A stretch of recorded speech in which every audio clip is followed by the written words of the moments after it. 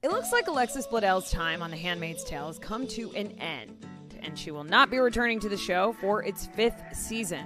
Alexis, who has played Emily since the Hulu drama first debuted back in 2017, revealed that she is leaving in a statement to E! News. She said, quote, After much thought, I felt I had to step away from The Handmaid's Tale at this time. Alexis continued by sharing her gratitude with those directly involved with the series. She said, quote, I am forever grateful to Bruce Miller for writing such truthful and resonant scenes for Emily and to Hulu, MGM, the cast and crew for their support.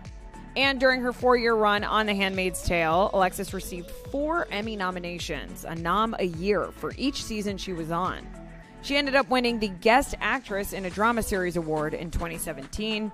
And aside from her role on The Handmaid's Tale, Alexis is also best known for playing Rory Gilmore in Gilmore Girls, as well as her portrayal of Lena in The Sisterhood of the Traveling Pants.